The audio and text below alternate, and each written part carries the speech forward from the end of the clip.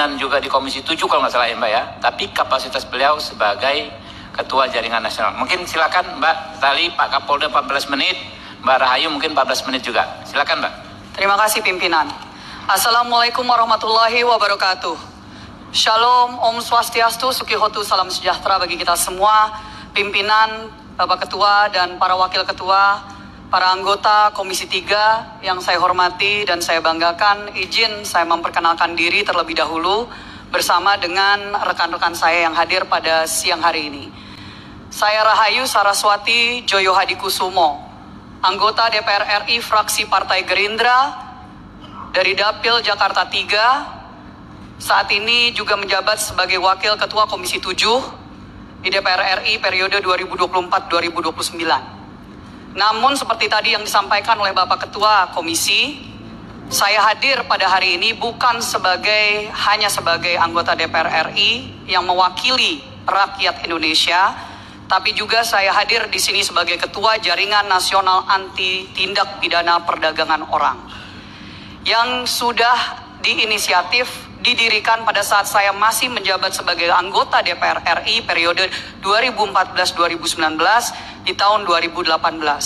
Sekarang kami sudah memiliki 30 anggota organisasi, NGOs, civil societies, dan juga individu-individu yang fokus untuk melawan perdagangan orang yang menjadi permasalahan besar di Indonesia. Saya tidak akan terlalu panjang lebar karena nanti saya akan serahkan kepada rekan saya yang merupakan ketua harian Jaringan Nasional Anti TPPO. Tapi saya mau memberikan sedikit konteks Bapak Ibu kenapa saya hadir di sini. Dan kenapa urusan saudara Rudi Soik ini menjadi sesuatu yang saya secara pribadi angkat karena penting untuk konteks ini.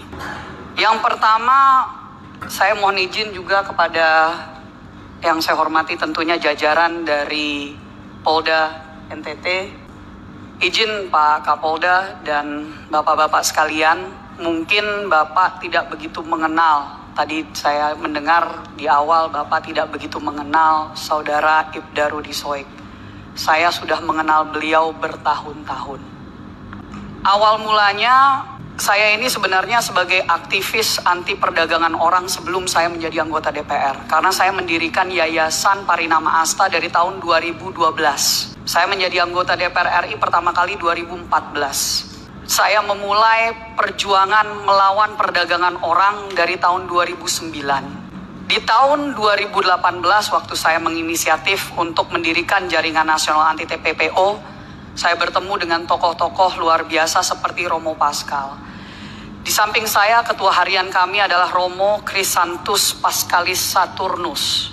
Tahun lalu, beliau yang saya yakin di Komisi 3 yang adalah incumbent petahana sudah sangat mengenal nama beliau karena beliau adalah tokoh anti perdagangan orang yang waktu itu juga harus berhadapan dengan oknum dan sindikat.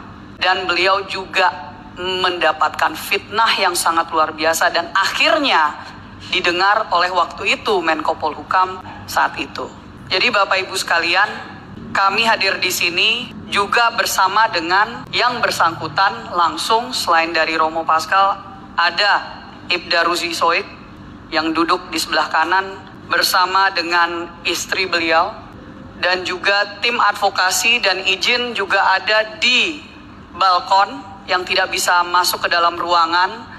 Ada tokoh-tokoh juga yang sudah mengenal saudara Rudi Soik sudah bertahun-tahun juga dan bersama-sama melawan sindikat-sindikat yang ada di NTT dan di dunia ini. Tapi terutama saya mau meng-highlight ada Suster Lauren, dan pendeta Emi Sahertian.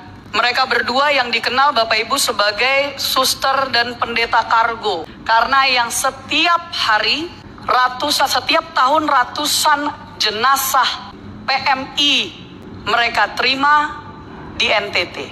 Hampir setiap tahun ratusan jenazah warga negara Indonesia, warga NTT mereka terima. Dan mereka juga hadir di sini untuk memberikan kesaksian jika kapan pun Bapak Ibu memerlukan sebagai tokoh-tokoh yang memang dihormati dan sudah uh, sangat mengenal dengan saudara Rudi Soe.